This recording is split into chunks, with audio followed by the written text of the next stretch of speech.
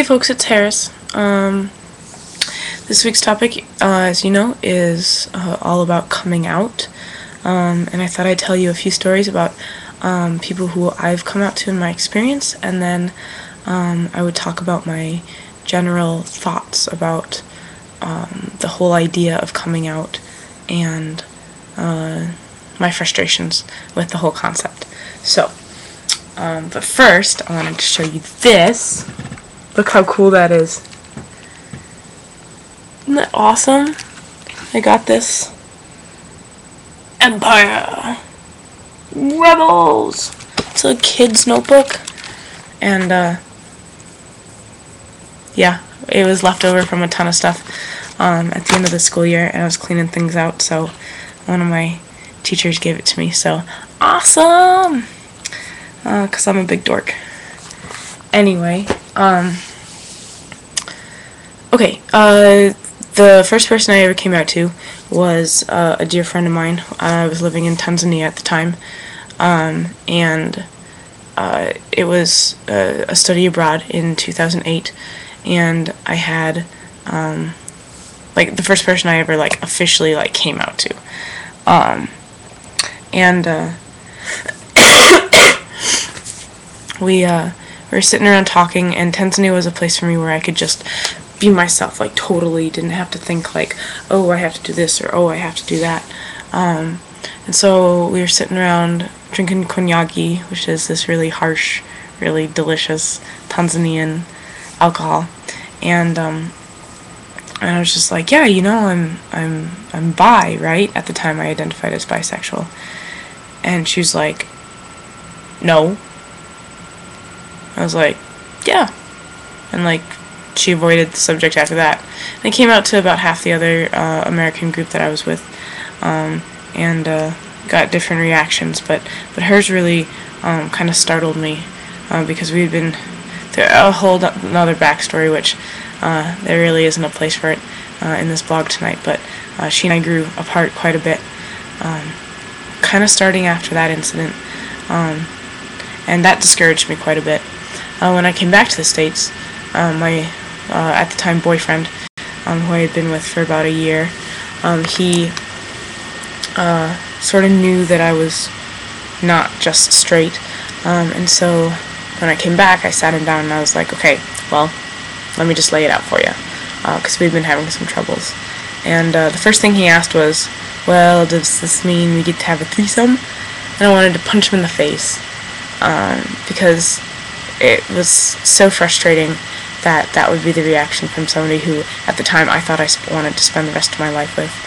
Um, that he would just instantly jump to that kind of idea. And although I like told him that that was frustrating for me and that I didn't want to, you know, have it be limit my sexuality be limited to, oh, let's just have threesomes. Um, it still stayed a rather uh, sore topic. Um,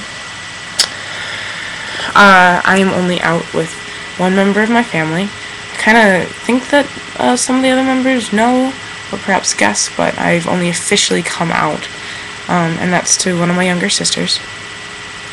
Um, and I told her um, she was coming to see me at college, and I was out with all my friends at college at the time, um, or a majority of them, um, and uh, and I didn't want her coming uh, to see me and stay with me for a couple nights and then have this like sprung on her unprepared. So I told her over the phone, and uh, and she was really like, okay, cool. And uh, when she got there, it wasn't a big deal. She gave me a big hug and told me she was proud of me for telling her, and uh, and she's been a real comfort, um, and uh, really nice to be able to talk to somebody who I've known for almost my entire life, for as long as I can remember. I've known her. Um, and it's it's been very nice to be able to uh, go to her and say this is what's frustrating me like and and she's whether she knows it or not like she's she's a huge source of wisdom um, uh, for me so. Um right so those are a couple of positive couple and a couple negative um, stories um, that I just wanted to share with you. Um, but I want to spend the rest of my couple minutes talking about why the whole idea of coming out frustrates me so much. Um, the fact that uh, everybody just assumes that everybody's straight until somebody says otherwise is ridiculous. Let's be real. Uh, nobody just assumes you're, you know, a Christian. Or maybe some people do, but they shouldn't. Uh, nobody just assumes, like, you know, that you you like Star Trek or something like that. Just because I love Star Trek doesn't mean everybody loves Star Trek, you know. Um, and it's it's really like touchy. I don't like to sit somebody down and be like, okay, I'm going to come out to you now. Um, I like to present it as like a part of my personality, um, or just kind of, you know, with this or with other things that I say or do, just have them kind of realize it. Um, so that way they know that, that it's not a big deal for me, that I can just like have it be part of my life. I'm queer. Great. Let's get on to other parts of my life that, you know, matter more than just my sexuality because I am not limited to who I fall in love with and who I have sex with. Like, that's ridiculous. so, that's a big frustration for me. Um, the fact that um, when so many people come out, um, they're ridiculed, uh, physically harmed, emotionally abused, like all these different things. Like, it's ridiculous. You know, th- it would be like uh, your mom has leukemia and oh, you get tested and you can't give, so, well, fuck you, now I'm to throw you out of the house and beat you. You know, it, this isn't something that a person controls. Um, who you love, how you love. That's not something that um, we just get to pick and choose while we're in the womb. You know, it's not like as little, you know, as a little fetus, I'm sitting there going, hmm, hmm, I wonder in 20 years who I would like to be in love. You know, that's not the way it works. We don't get to pick our eye color. We don't get to pick our skin color. We don't get to do any of those things. Um, and so when somebody is discriminated against, as is being done in so many parts of the United States and around the world, um, when somebody is um, assaulted, when somebody, when, when any of those things happen, based on something that n- nobody can control, that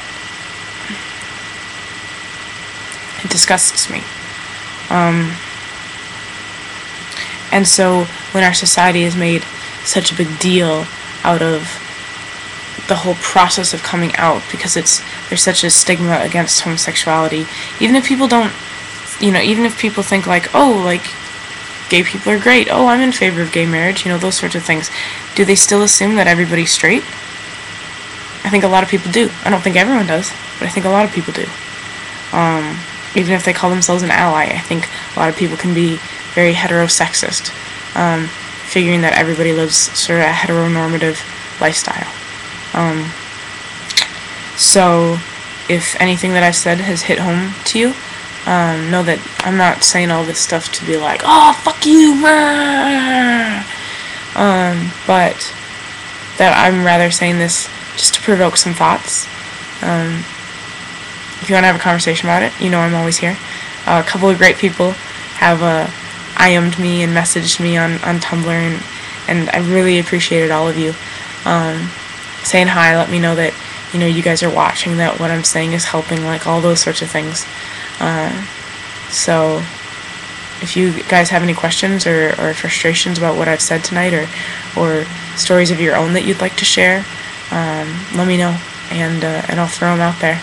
Um, I will be typing up a summary of what uh, I just talked about, and I'll be posting that on the Tumblr um, for everybody, and I'll post a link to that post um, in the description of the YouTube video once I'm finished with it. So, have a good night, everybody. I love you, and uh, I'll see you next week. Bye.